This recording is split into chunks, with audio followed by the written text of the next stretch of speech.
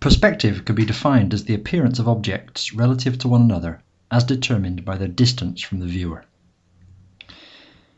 In the context of filming a video for two-dimensional analysis, this relates to the distance between the performer and the camera. The following section investigates the effect of camera distance and movement out of the plane of motion on calculated lengths of objects and measured angles. To demonstrate the effect of camera distance on perspective error, images were recorded with the camera in two locations. In the first scenario, the camera was positioned near to the plane of motion at a distance of 5 meters. And in the second scenario, the camera was located far from the plane of motion at a distance of 15 meters. In both scenarios, the optical axis of the camera was orthogonal to the plane of motion. In each camera position, an image was recorded with the performer in three different positions, as shown here. In the first image, the performer is standing in the plane of motion. In the second image, the performer is standing half a meter behind the plane of motion. And in the third image, the performer is standing half a meter in front of the plane of motion.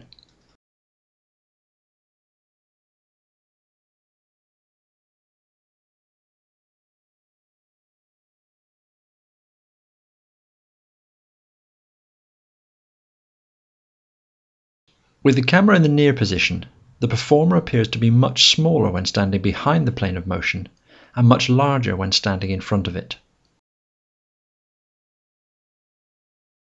To quantify this difference in height, the height of the performer was measured in each position. The height when standing in the plane of motion was used as the scaling information to calculate the height of the performer in the other two positions. The measured distance in the image between the top of the head and the soles of the feet when standing in the plane of motion equated to 1.81 meters, i.e. the known height of the performer. When standing 0.5 meters behind the plane of motion, the measured height of the performer was 1.57 meters, which is 13.3% less than when measured in the plane of motion. When standing 0.5 meters in front of the plane of motion, the measured height was 2.14 meters, which is 18.2% greater than when measured in the plane of motion. If we now consider the same scenario, but with the camera in the far position, i.e. 15 meters from the plane of motion.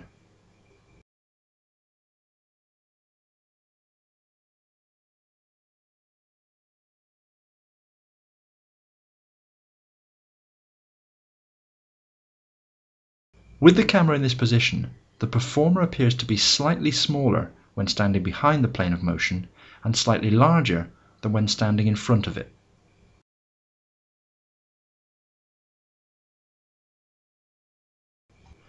When standing 0.5 meters behind the plane of motion, the measured height of the performer was 1.72 meters, which is 4.8% less than when measured in the plane of motion.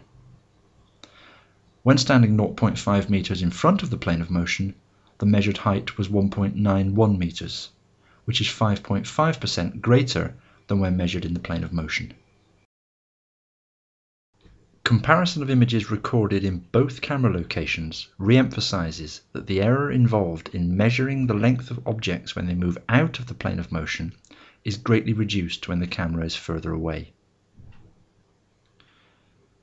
With the camera in the far position, the percentage error in the measured height of the performer when standing behind the plane of motion was 2.8 times less than with the camera in the near position. Similarly, with the performer in front of the plane of motion, moving the camera to the far position reduced the percentage error by 3.3 times. Movement of the camera back from the plane of motion, therefore, significantly reduces measurement error due to movement of objects out of the plane of motion. To summarize, objects behind the plane of motion appear smaller. Conversely, objects in front of the plane of motion appear larger. This effect is reduced by increasing the camera distance from the plane of motion. Therefore, it is important to locate the camera as far from the plane of motion as possible. To demonstrate the effect of perspective on angles between objects, a cross was constructed from two 1 meter rulers and placed on a tripod. Right angles were formed where the meter rulers intersect. With the camera in the far position, images of the cross were recorded with it located in the plane of motion and parallel to the plane of motion, both half a meter behind and in front of the plane.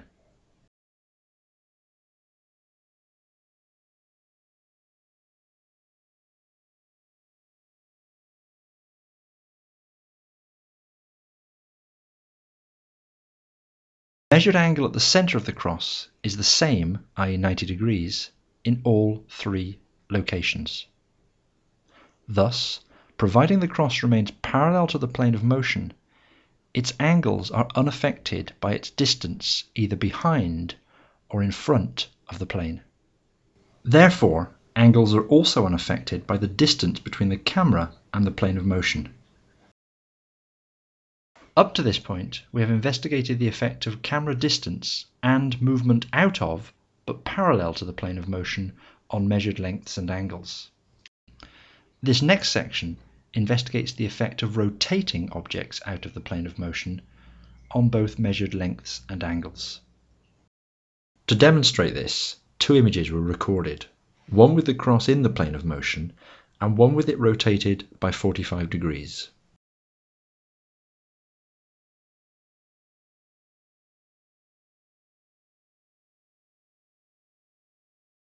With the cross rotated out of the plane of motion, the length of the rulers appears shorter than when in the plane. The length of a 1 meter ruler when in the plane of motion was used as the scaling information to calculate its length in the rotated position. The calculated length when rotated out of the plane of motion equated to 0.85 meters. With the cross rotated out of the plane of motion, the angles above and below the intersection of the rulers appear more acute, i.e. less than 90 degrees, than when in the plane. Conversely, angles to the left and right of the intersection appear more obtuse, i.e. greater than 90 degrees. As the measurement of angles is based upon relative distances, no scaling information is required for their calculation. With the cross in the plane of motion, the measured angles at the intersection of the rulers are the same as the actual angles, i.e. 90 degrees.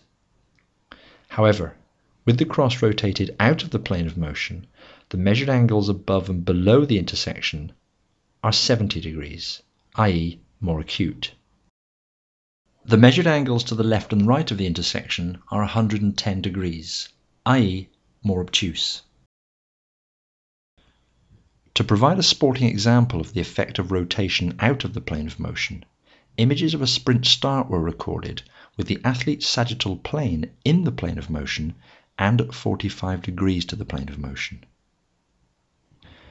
The calculated length of the lower leg, i.e. the distance between the knee and ankle joint centers when in the plane of motion, was 0.43 meters. When rotated out of the plane of motion, the length of the lower leg was 0.37 meters. With the athlete in the plane of motion, the measured knee angle, i.e. the relative angle between the upper and lower leg segments, was 87 degrees. With the athlete rotated out of the plane of motion, the measured angle was 83 degrees.